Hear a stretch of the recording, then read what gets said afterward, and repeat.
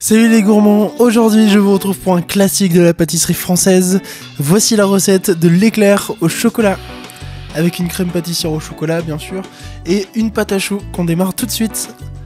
Dans une casserole, on va venir faire chauffer 190 g de lait entier, avec 75 g de beurre, 2 g de sel et 3 g de sucre. On mélange et on laisse fondre. Ensuite, on va couper le feu et on va ajouter 90 g de farine en une fois.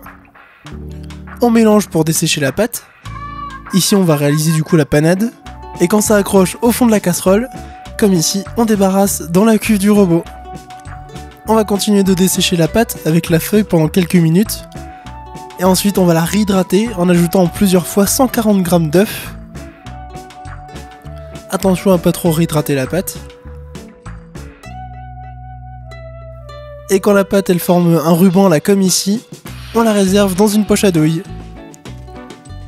On récupère un papier cuisson et on va venir euh, dresser nos éclairs. De mon côté j'ai choisi de faire des petits éclairs. On les badigeonne avec un mélange d'un œuf et d'un jaune, puis on enfourne pour 30 minutes à 175 degrés. On passe maintenant à notre crème pâtissière au chocolat et on commence par faire chauffer 300 g de lait entier et en parallèle, on va faire euh, blanchir 60 g de jaune d'œuf avec 50 g de sucre. On mélange bien. Puis on ajoute 30 g de fécule de maïs et on mélange. On récupère notre lait chaud et on va venir délayer notre première préparation avec la moitié du lait. On mélange. On ajoute l'autre moitié du lait. On mélange de nouveau.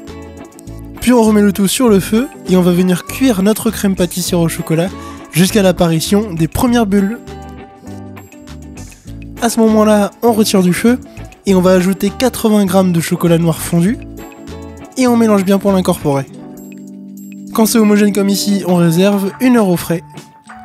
On récupère notre crème pâtissière et on va la détendre avec le fouet.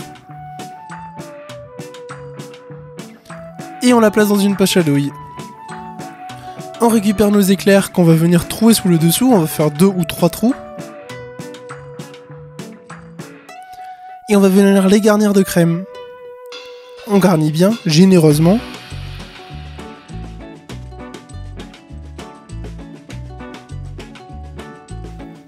Puis on les place une vingtaine de minutes au frais.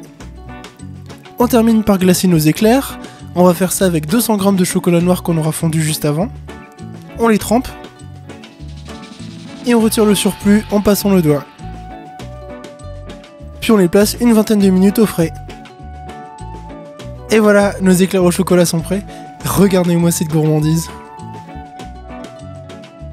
N'hésitez pas à vous abonner à la chaîne pour toujours plus de gourmandises. Et d'ici la prochaine recette, n'oubliez pas d'être gourmand.